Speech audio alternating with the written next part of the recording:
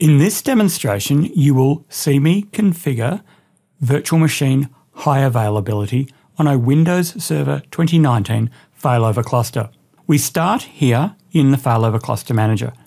And the first thing that we do is we go to roles and under virtual machines in the actions menu, we can create a new hard disk. So I'm showing you how to create a highly available virtual machine hard disk. So we select the node we want to put this on. Then we go through the create a new virtual hard disk wizard. Here we're choosing a VHDX that is dynamically expanding. We give it a name. Now the key in making it highly available is to set the location to be a cluster shared volume. So we browse here and our cluster shared volumes in the cluster storage directory, volume one. So we select that folder. And when we do that, we specify the size of the disk and we click finish and we've created a highly available virtual hard disk.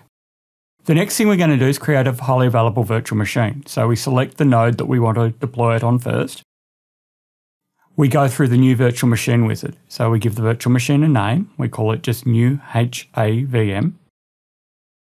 We specify that we're going to store the virtual machine in a different location. Again, we have to put it on the cluster shared volume. If you don't put it on the cluster shared volume, you can't make it highly available in a failover cluster. You can certainly do other techniques such as VM replication. The next thing we do is we specify a virtual machine generation. Here we're just going to go with the basic Gen 1. We're going to give it 2 gig of RAM. We're not going to assign a networking resource, but you would do this in the real world environment. We're going to create a hard disk and then we're going to install an operating system.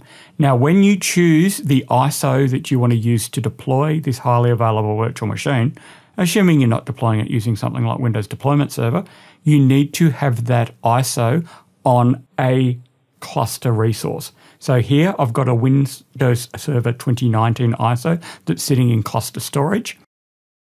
But if I had it sitting locally, that couldn't be highly available because as the VM failed from one node to another, the ISO wouldn't come with it.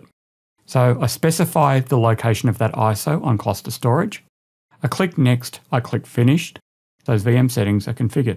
Now, when I finish that, it automatically starts a high availability wizard and then just says, look, high availability is successfully configured for this VM role.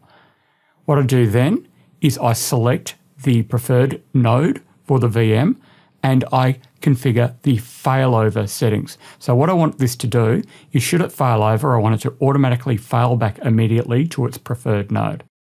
The next thing I do is I start the VM. Now I configured the VM, but I didn't actually install an operating system. So I click connect and this basically opens up a virtual machine connection. You can see the start of the Windows Server 2019 installation routine. I click install now. I don't have a product key. I'm just choosing Windows Server 2019 standard desktop experience.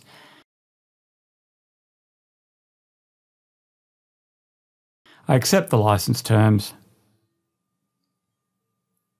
I select custom I select the drive I want to put it on, which is the one that's sitting on that cluster shared volume. It then goes through the installation process as normal. This has been sped up a little to make it a little more tolerable.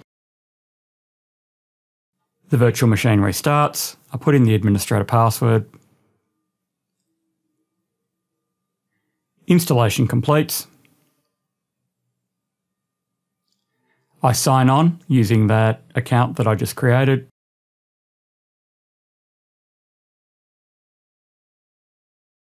Now, what I want to demonstrate here is that the VM remains online while we actually file from node to node. So all I do is open up Task Manager and you can see Task Manager there running with the CPU readout showing.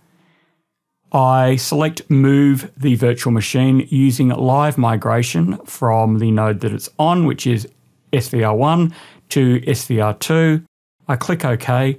And what I'm going to do is flick back and forth here between the console and you can see live migrations occurring in the background there. It's 48% complete. We can still see the VM here, it's still connected. We do get a disconnection in virtual machine connection, but it comes straight back up.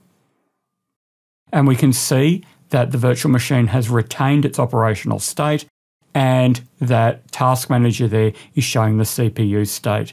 And we've got in the background the server manager console just doing a bit of a refresh. We can see this CPU ticking over here.